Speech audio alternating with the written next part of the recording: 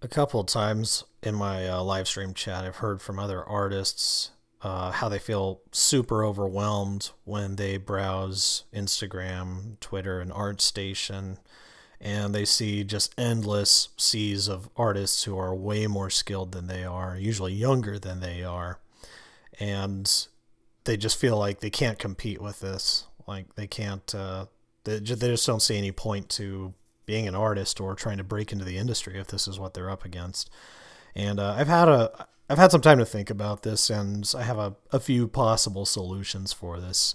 Before I get into those, um, I want to remind you to sign up for my mailing list down below. The link is in the description. Uh, when I'm going to launch my graphic novel WYIT on Indiegogo, I will send a alert out to my mailing list, and everybody who's on that mailing list will be the first to hear about it uh, ahead of time before everybody on social media. Anyways, so uh, my solutions for this. The first one, I call it visual fasting.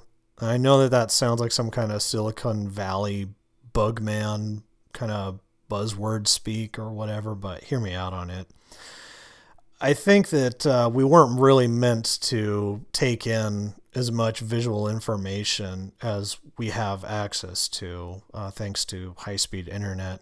Like, I remember what it was like growing up on dial up internet uh, out in the middle of nowhere because there were no, you know, there was no cable, there was no uh, cellular service or anything like that. So I was only able to browse a few galleries a day thanks to, you know, this slow, crappy AOL connection that I was on.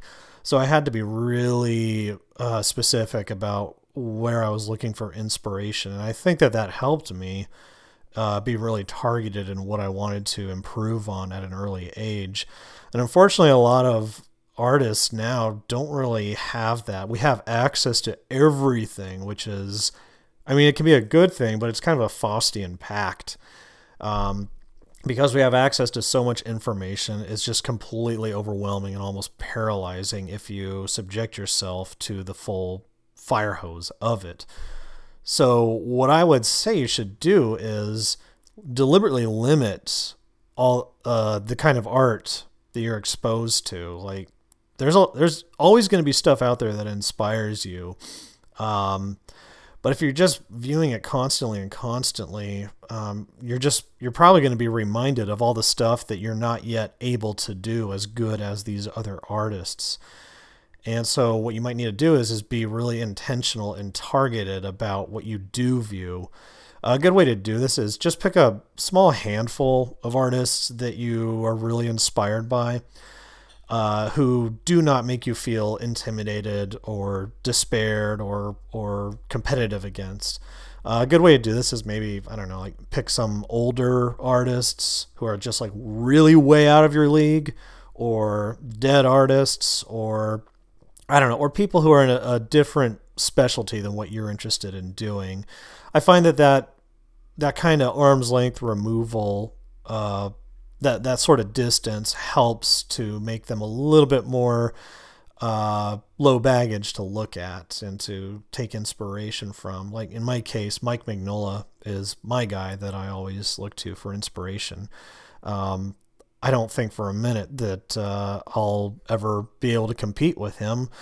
Uh, so when I look at his stuff, it's not really, you know, intimidating or causes me to freak out or feel like, oh my gosh, I'm not as good as Mike Mignola. I'm never gonna make it in comics. You know, I, I don't, I don't have to deal with that. Um, Another thing is, and th- this is uh, this was told to me by Matt Rhodes, who's a, he's an old friend. Uh, a lot of you would recognize him from uh, being the art director over at Bioware. He was the guy who, you know, designed Mass Effect and Dragon Age and all that stuff. And one of the ways he came, he overcame uh, a similar kind of burnout or dis- visual or inspirational despair was assessing what his own strengths were that nobody else could have, um, and what you know, you, looking deep into yourself and realizing like, okay, I have this set of real life experiences that nobody else has had. This combination of events and things that makes me me. What kind of story can I tell with that? Whether that's written or visual or both. Um, and once you once you're able to assess that, you're able to uh, feel like your work is a little bit less vulnerable to competition out there, whether that's real or imagined competition. I think a lot of it is imagined, honestly, because to be honest, like a lot of the people that you feel like you're competing against are probably every bit as terrified and uncertain about their work as you are. Um, every, everybody's naked. We're all just we're completely nude running around um, in this in this artistic wasteland.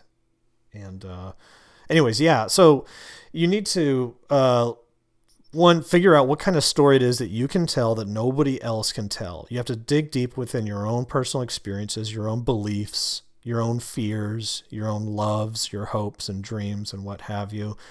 And don't be afraid to use common visual tropes, common storytelling tropes to tell that story.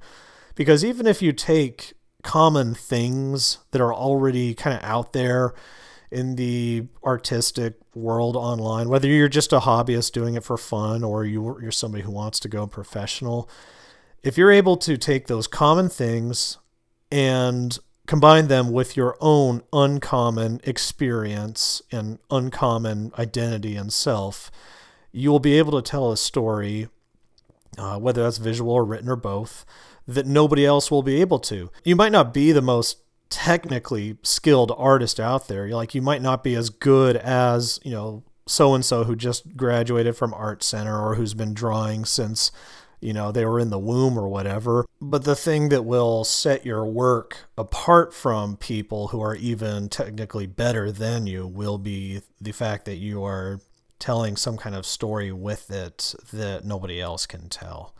And that, re- that requires a little bit of vulnerability, I guess. You have to be willing to, you know, reveal uh, a little bit of your your heart uh, but if you can get past that, get past the initial fear that that entails, uh, I think you'll come out the other side uh, a lot stronger, a lot more confident.